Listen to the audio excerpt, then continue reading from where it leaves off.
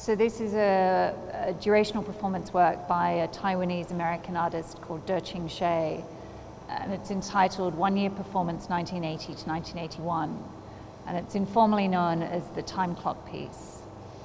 And the departure point for the work is a statement by the artist that he will punch a time clock on the hour every hour for the duration of a year.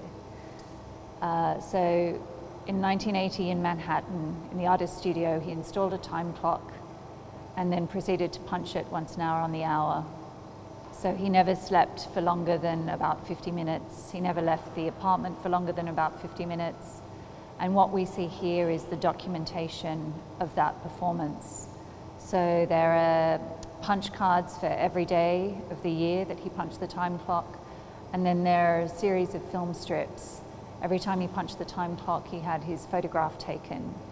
Um, and you see uh, around 8,760. But then there are 133 instances where he actually missed punching the time clock.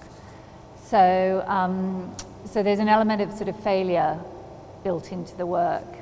And you can see the instances in the, in the film strips themselves where through mechanical failure or human failure, he missed punching the time clock and taking the photograph. And then all the film strips um, combined together in a 16 millimeter film that's six minutes long that is, is sort of sped up and gives a much more sort of sense of the kind of schizophrenic delirium that he'd entered in undertaking this very uh, singular uh, activity for a year. This work is the second in a series of durational performance, one year performances that Tehching undertook, and he talks about choosing the year uh, as a, the year being a very human unit of time. It's the time it takes for the Earth to revolve around the sun. Uh, it's, it's the unit we speak in, um, in terms of our ages and the passing of time. So they, that was how he sort of just decided the parameters for that work. I, I see these durational performances very much as uh, sort of philosophical investigations or propositions into the nature of time, life, and being. Um, Tehching thinks very philosophically about these works. I mean, I think they often do have a political dimension to them, particularly this work because with its, with its uh, motif of the punching of the time clock, it invokes the idea of sort of industrialized labor and the situation of, say, a factory, worker and, and even aesthetically with his shaved head and the, the grey uniform, there is that sort of suggestion. But Tehching is very keen to play down uh, that political element in favor of something more broadly philosophical, or sort of, a, a, you know, he, an interest in on, ontology, in the philosophy of sort of being, really, and being in time. So that's the sort of standpoint he's coming from. He often uh, speaks about the myth of Sisyphus pushing the boulder up the hill, and I think that is useful in terms of thinking of the, the philosophical framework.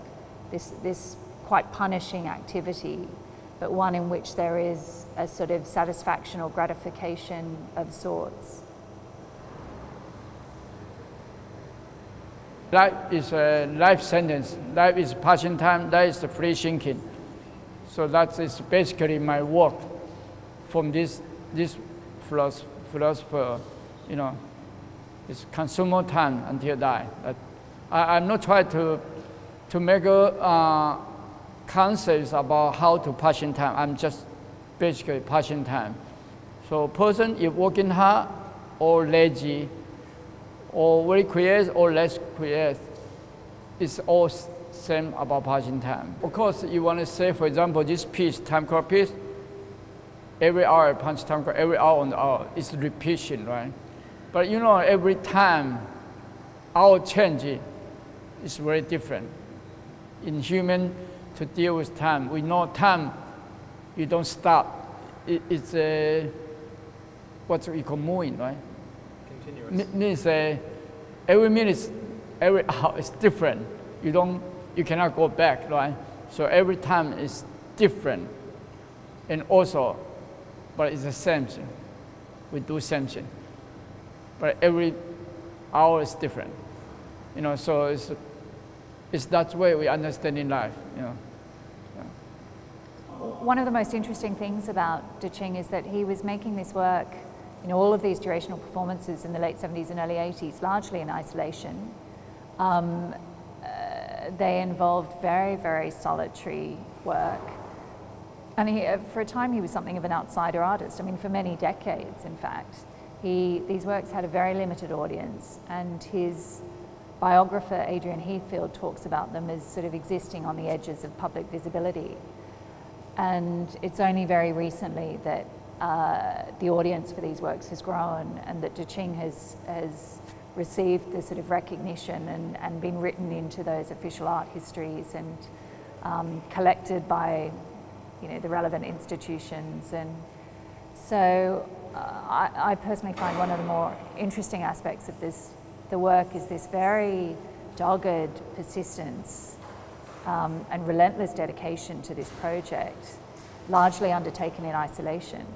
Tehching would often cite Russian literature as being an influence and um, writers such as Dostoevsky and Kafka, but there's almost something also a bit Beckettian about this work and the level of sort of abstraction and stylization, but also the sort of pathos.